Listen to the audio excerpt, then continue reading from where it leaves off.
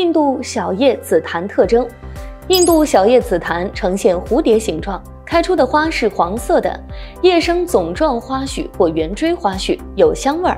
荚果为褐色扁圆形，其中有一至两粒种子，而豆荚外缘有一圈平展的翅，可帮助果实的散布。花期四至五个月，果期八至十个月，生长在坡地疏林中或有栽培。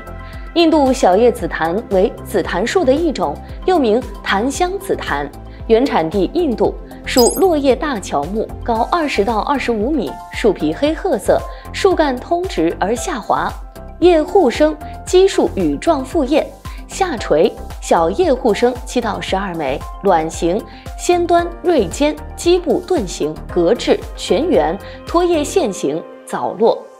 印度小叶紫檀的硬度很高，而且它生长缓慢，通常要经过五年才可以生长一轮。